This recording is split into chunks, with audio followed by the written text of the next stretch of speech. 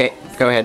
Well, on the three box challenge, it's supposed to touch all three boxes and then go back to the square it started on. On the last part, we're just trying to get it back on the square it.